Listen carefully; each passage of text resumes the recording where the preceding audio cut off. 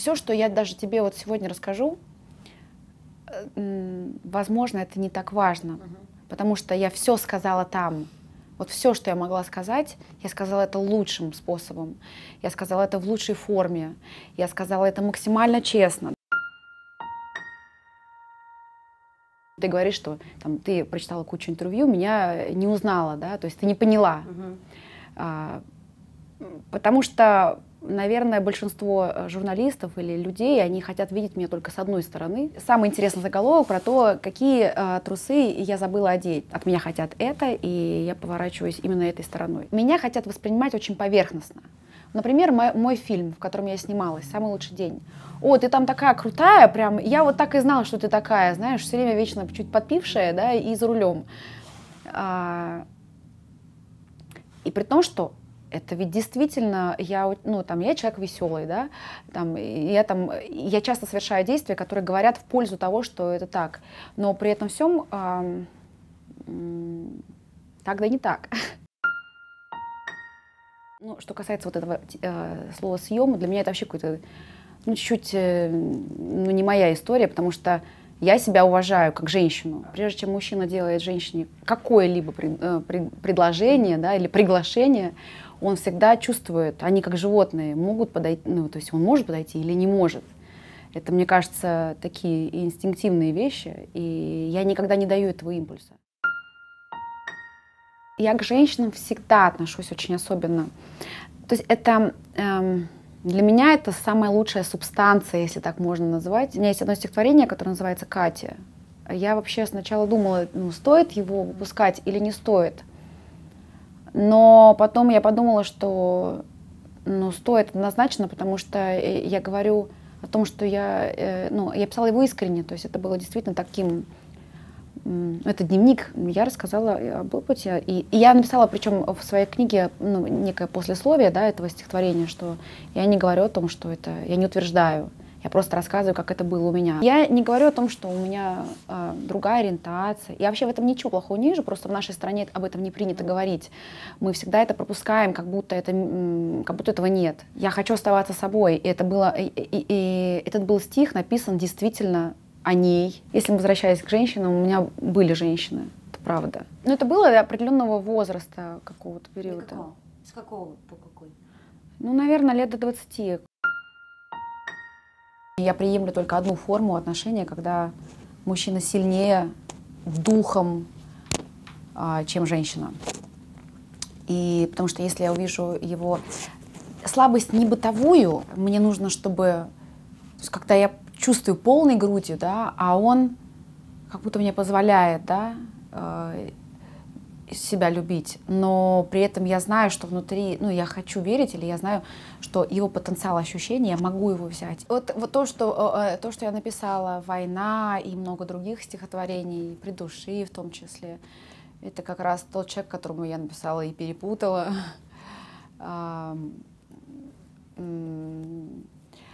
Ну, это, да.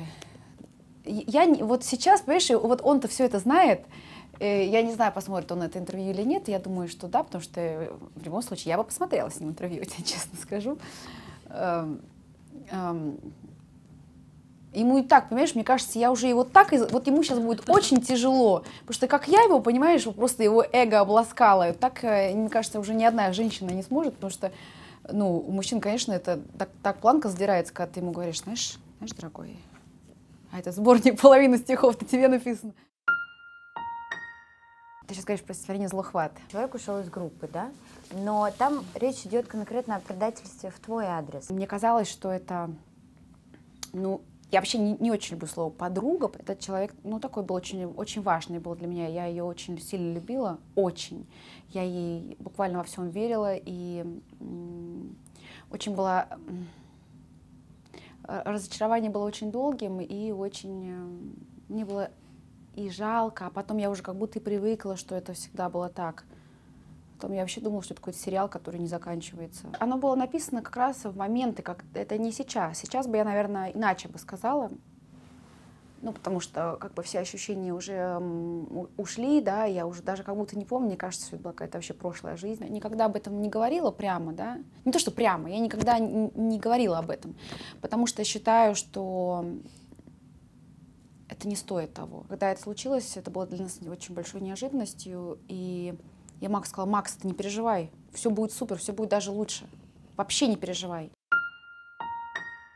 Когда я это делала, я вообще не думала о том, что книга выйдет, что я пишу стихи для книги.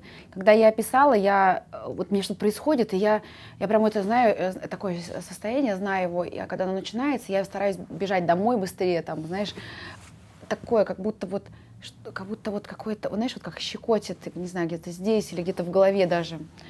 А, я бегу писать. Мне нравится стихотворная форма, да, мне нравится рифма, мне нравится именно вот это, вот это, потому что ты можешь найти такие слова, которые ты никогда в жизни человеку вот так тет-а-тет не скажешь. Ты ему можешь сказать, почитай. И буква М, она, у нее идеальная форма для меня. То есть она идеальна. И, ну и, и по, по тому, как она звучит, М, не знаю, М, она, она очень крутая. Ну и действительно, в моей жизни очень много всего начинается на букву М. Э, знаковые люди. Как папу звали? Юрий. То есть не было? Нет. Ой, какую ты тему затронула.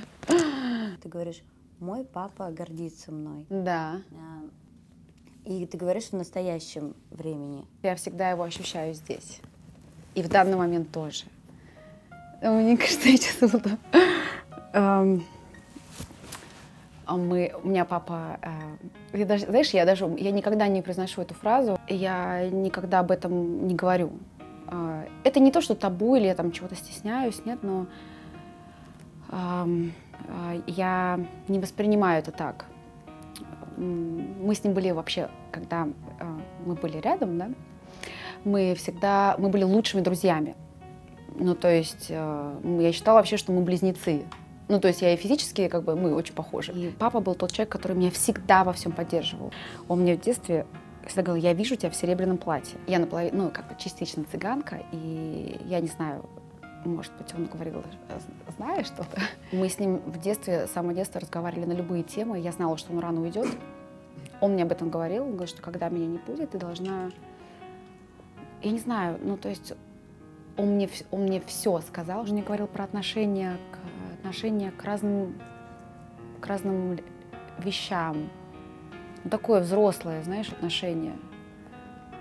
А, как я должна относиться к, там, к примеру, к несправедливости, как я должна относиться к своим неудачам. Когда мне мама сказала, я просто перевернулась на другой бок. Я, это было утром, и я спала все следующие три дня. Ну, уже меня хотели, я не знаю, на скорую куда-то возить. Момент, когда я плакала, это прошло уже, там, не знаю, это было ну, несколько месяцев. Я помню, с подружкой сидела на лавочке и начала сильно-сильно плакать. Вот первый раз. Я и с мамой, и с братом, и... Но ну, я очень редко на эту тему. То есть я ее не избегаю, но для меня до сих пор э, эта тема очень болезненная. Я никогда о ней не говорю. Я привыкла о ней то есть как будто этого не существует. Для меня именно он является ангелом-хранителем. Помню, мы с Ирмой идем, вышли из кинотеатра в центре Москвы. Подошел какой-то человек очень странный, знаешь, было ощущение, что у него как будто в кармане нож, что он сейчас его вытащит и что-то с нами сделает. Потому что начал задавать такие вопросы, такие, знаешь, чтобы мы ответили нет, там, да, ну какой-то вот конфликт, что получился. И, и я прям впервые почувствовала такую, знаешь, вот опасность именно неподдельную, да, настоящую вот какую-то, что что-то сейчас будет не так. И вдруг этого человека в какой-то момент, то есть разворачивает, и он резко уходит, хотя никого не было, это мы закончили кино, это вообще поздно ночью. Вот. Таких ситуаций у меня было достаточно количество, и, и я, я почему-то всегда думаю, что это он. Я всегда его ощущаю здесь.